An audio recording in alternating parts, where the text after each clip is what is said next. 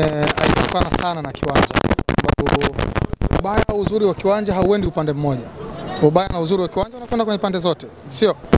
Na naamini kwamba JKT wali wamejiandaa, Young Africa wamekutana na timu tofauti na ile walioifunga goli tano, kwa maana ya kiwanjani kwenye kucheza.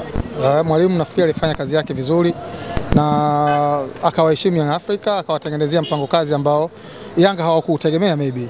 Yes, to some extent kiwanja I agree kwamba hakikuwa kinaruhusu sana technicalities kufanyika, lakini sio kwa upande mmoja, kwa sababu kilikuwa kichagui kwamba wakicheza JKT kiwanja kinakuwa kizuri, alafu wakicheza Young Africa kinaharibika. Sio kweli, kilikuwa katika standard ile ile, lakini uh, tofauti iko kwenye kwenye kazi tu kiwanjani, na maybe labda Young Africa walidhani it's gonna be easy tu, kwa sababu ah, ah, si ndio wale tulofunga goli tano, lakini wenzao walikuja tofauti na game ilikuwa nzuri. Ukiwasikiliza JKT wenyewe wanadai kiwanja kipo sawa kabisa, wala hakijawabudu.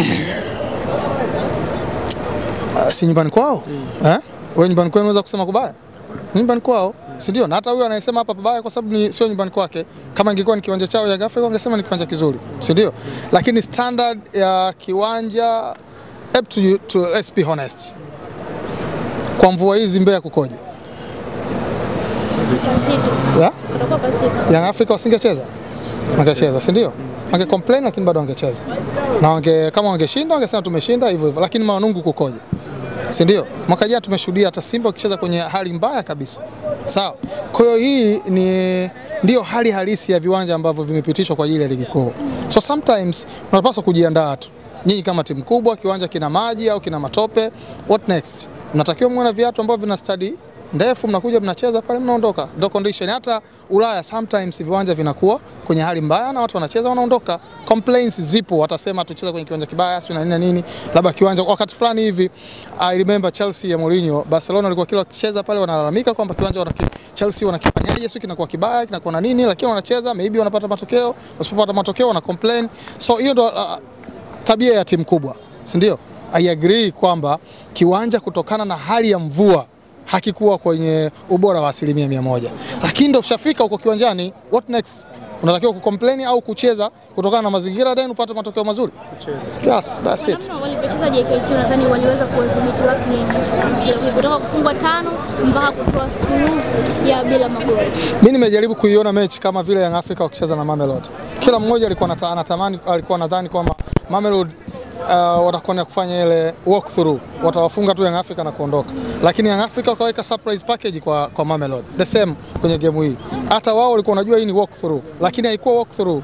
Eh, mwalimu amefanya kazi yake akawawekea surprise package kwa, kwa kutegemea hicho kitu, si ndio?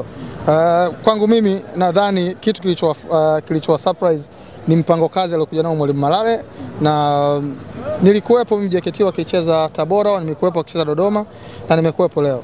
Nafikiri wana, wana improve sana na kwao wao hii ni mechi ambayo alama moja hii inaweza ikawa ika, ika imewasaidia sana. Unajua ukiwa kwenye mid table, mid table team kuna games unazi schedule kwamba hii ni game ya alama tatu na hii ni game ambayo tunatafuta alama moja, lakini tukipata tatu tuta- tuta- tutachukua.